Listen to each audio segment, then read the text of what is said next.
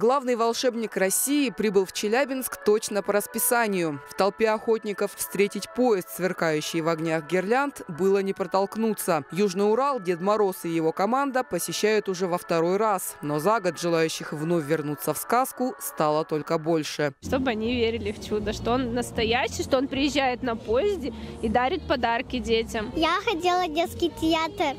Кукольный.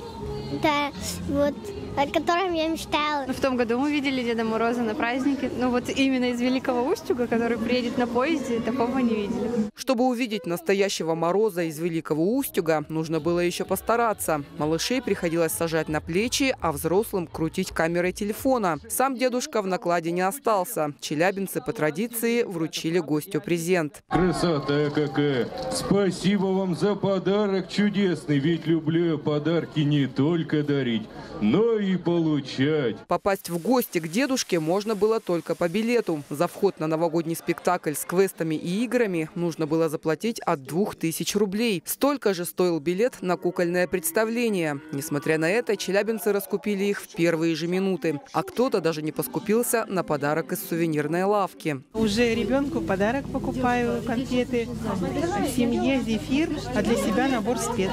Ну, а для тех, у кого нет возможности попасть в платную резиденцию, есть вот такой шанс сделать бесплатное праздничное селфи на фоне новогодней елочки.